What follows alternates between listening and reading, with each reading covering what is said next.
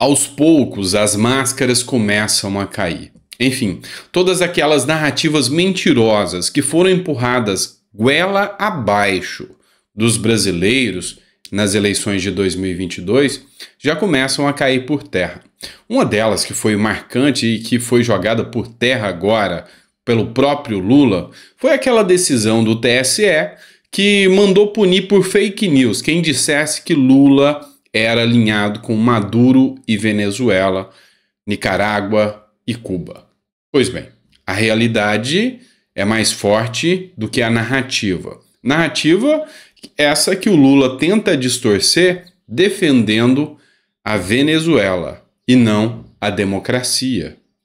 Tanto é verdade que dois presidentes, um de esquerda, Gabriel Boric, do Chile, assim como também o Lacalle Pou, desmentiram Lula. Disseram que não se trata de narrativa, todo mundo sabe, a ONU sabe, o mundo sabe quem é Nicolás Maduro. E agora começa a ver também quem é Luiz Inácio Lula da Silva.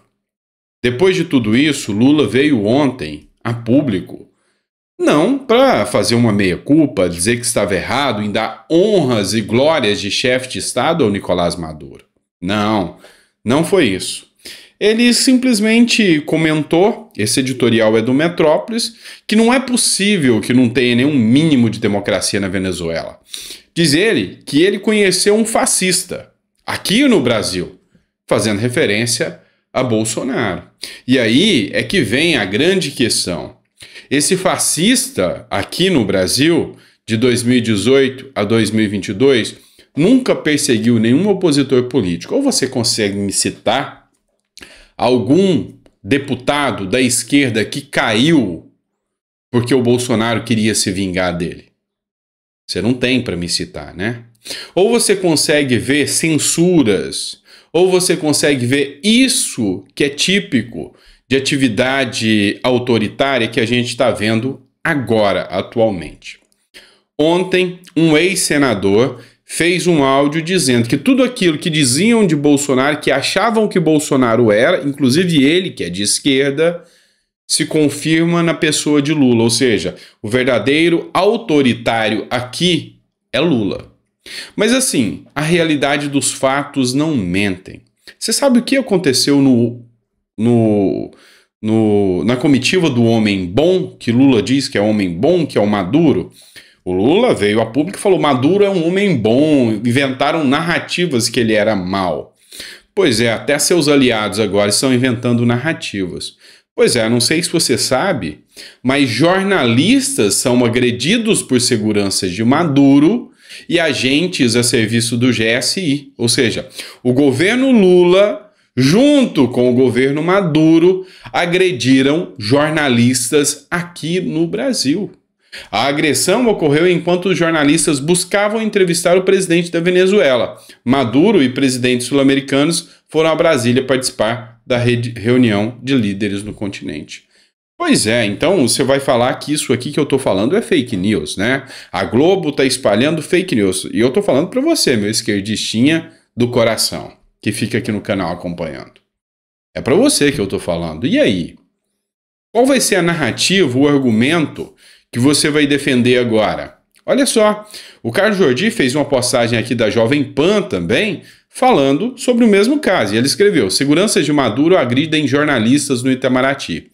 Bolsonaro nunca agrediu um jornalista sequer e sempre foi massacrado. Não vejo a nota de repúdio da imprensa militante nem a indignação da esquerda. Ouça comigo só esse trecho da reportagem. Seguranças do presidente venezuelano Nicolás Maduro e agentes a serviço do GSI agrediram jornalistas em Brasília. Os profissionais participavam da cobertura da reunião de Maduro com o presidente Lula no Palácio do Itamaraty.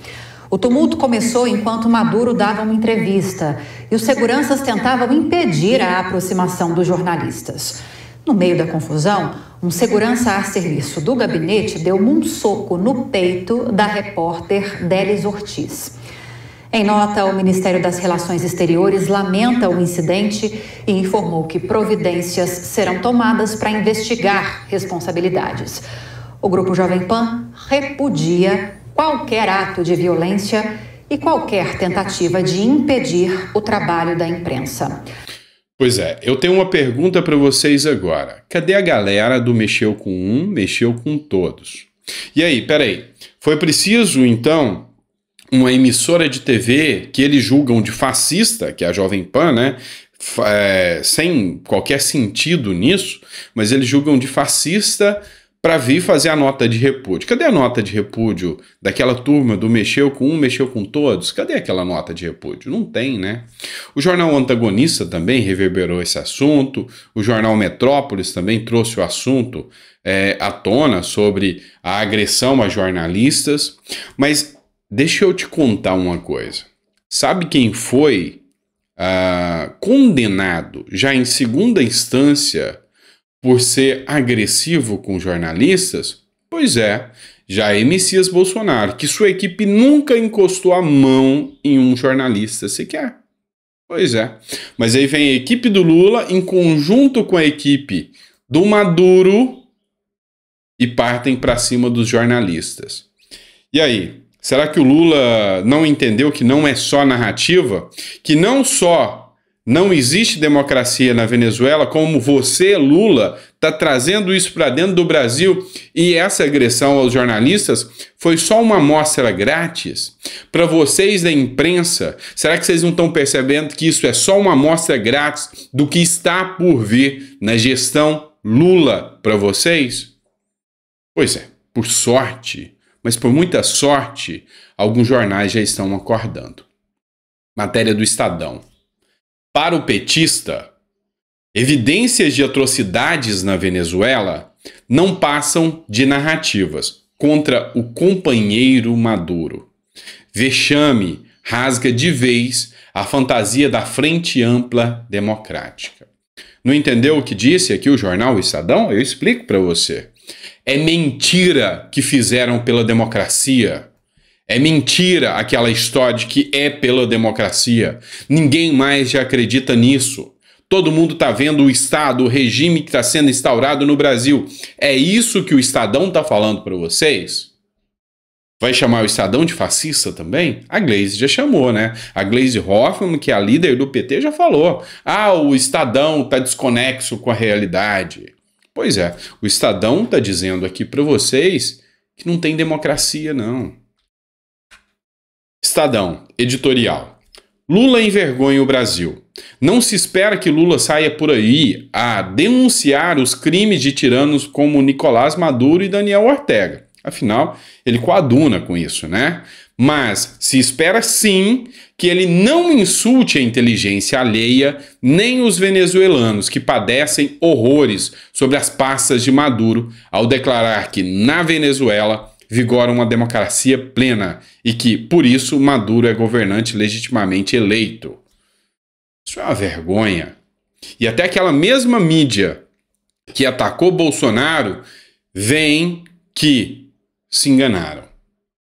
Aqueles mesmos senadores e deputados esquerdistas que são coerentes. Eu não estou falando dos militantes malucos metidos a comunistas que gostam de ditadura, não. Eu estou falando daqueles coerentes. A Tabata Amaral já se posicionou em relação a isso. Falou que não se trata de direita e esquerda, ditadura é ditadura. Enfim, a gente sabe que tem uma hipocrisia gigante, tem a militância e tem muita gente que tem medo de se expor. Tem um canal que eu gosto muito aqui, de esquerda, tá? Um advogado, um portal aí. Ele sabe de quem eu tô falando. Eu esperava uma postura dele em dizer as atrocidades que é o governo Maduro, mas não. Por que não? Porque ele sabe que a militância vai atacar e acabar com ele. Assim como fizeram com o Fábio Porchat, quando ele se posicionou contra a censura ao Léo Lins. E não que eu goste do Léo, do Lins. Eu acho uma porcaria as piadas do Léo Lins. Mas nem por isso eu tenho o poder de calá-lo. Então, esse é um ponto que a gente tem que discutir e discutir muito.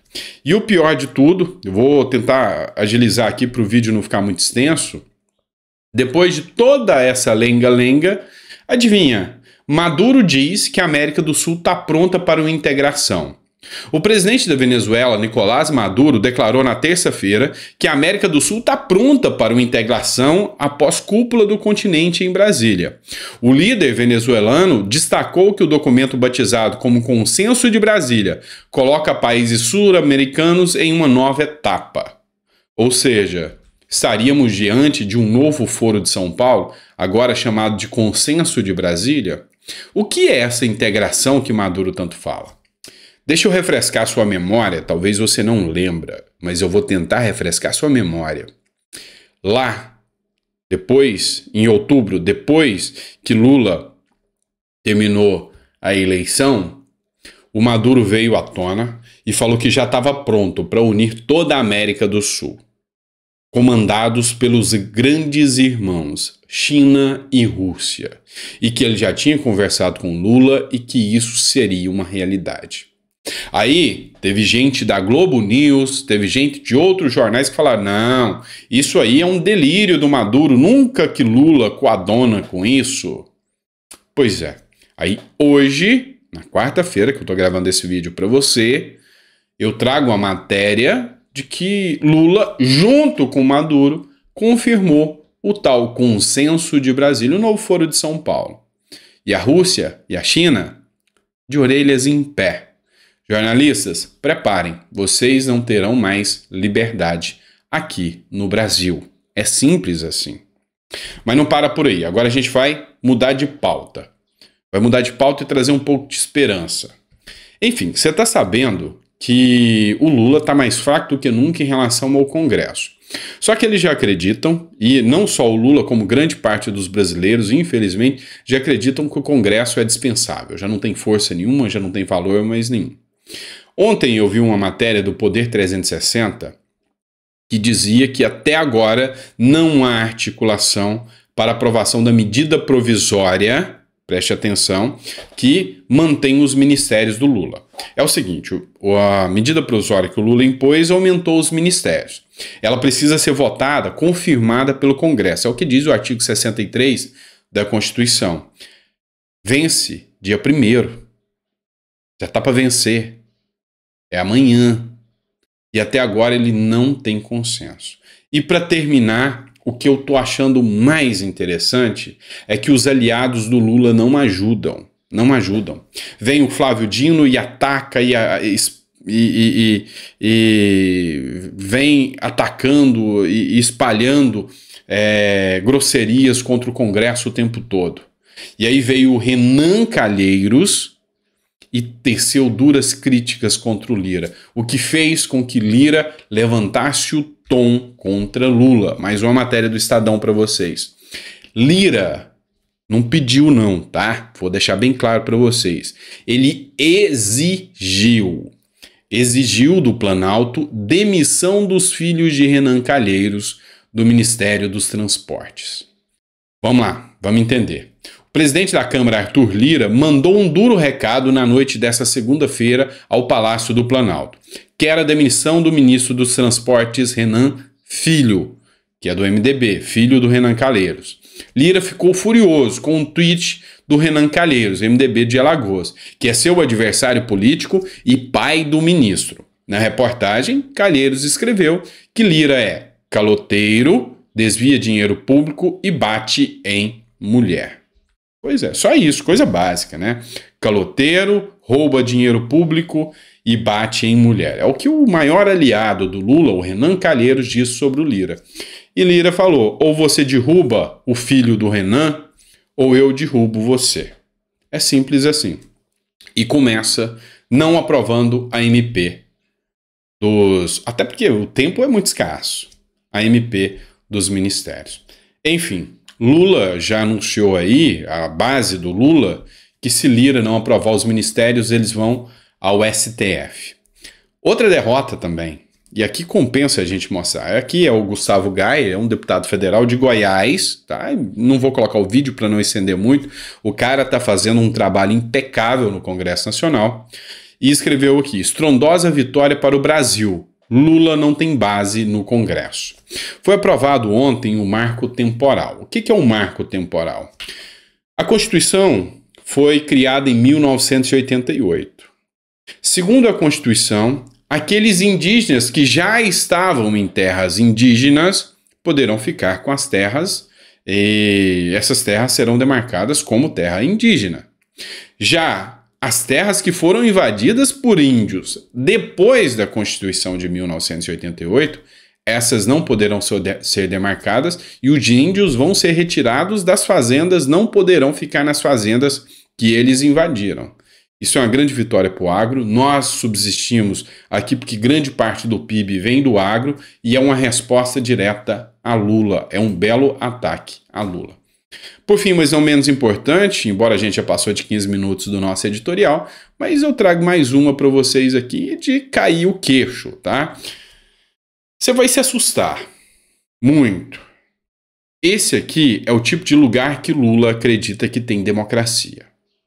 Esse aqui é o tipo de lugar que Lula acredita que é só narrativa. Eu não estou falando da Venezuela, não. Estou falando de outro lugar que Lula, que Flávio Dino amam. Afinal, se foram do PCdoB, no caso do Flávio Dino, foi do PCdoB, acredita que as pautas comunistas são interessantes. Dá uma olhada nessa matéria da revista Oeste. Na Coreia do Norte, um bebê, bebê, criança, de dois anos, foi condenada à prisão perpétua. Sabe por quê? Não sabe? Os pais foram pegos com uma Bíblia. É isso. Um bebê de dois anos e toda a sua família foram condenados à prisão perpétua depois que seus pais foram flagrados com uma Bíblia na Coreia do Norte, revelou o Relatório Internacional de Liberdade Religiosa de 2022 dos Estados Unidos. É só narrativa. Isso é mentira dos Estados Unidos. Afinal, a culpa é dos Estados Unidos que mandou a Bíblia para eles. Ou pode não ter sido dos Estados Unidos, mas de alguém que mandou a Bíblia para eles. Afinal, Coreia do Norte é uma democracia, tem até eleição, é? Não é? Toda vez que um ditador morre, outro ditador é eleito por eles mesmos para continuar. Tem eleição, então é democrático. Tudo isso é narrativa. Vão dizer até que o Kim Jong-un é um homem mau. Pois é, se depender da cabeça do Lula, é isso mesmo que ele pensa. É isso mesmo que ele pensa. Então, muita atenção, que eu não quero chegar nesse patamar, não. Uh, tem ontem, até foi minha mãe que me falou sobre isso. Eu não conheço. Uh, um pastor chamado Pastor Vagnão. Eu não conheço. Foi intimado pela Polícia Federal, parece que corre o risco de ser preso. Eu vou procurar mais informações. Por ter pregado a palavra e ter feito críticas a idolatrias e críticas àqueles que são contra a família. Eu não vi também a narrativa, eu não sei. Mas assim, já não estaria algo semelhante vindo rumo ao Brasil? Tá na hora da gente pensar, não tá? Tá na hora da gente pensar. E imprensa como Estadão, seja muito bem-vinda, tá? Tá na hora de você realmente fazer um trabalho de oposição. Ok?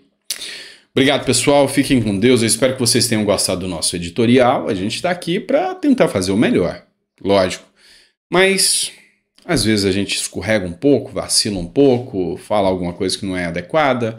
Sua crítica é sempre bem-vinda. Democracia é isso, tá? Então coloca no comentário aí se você está gostando do nosso conteúdo, tá certo? Grande abraço, fica com Deus e até o próximo editorial.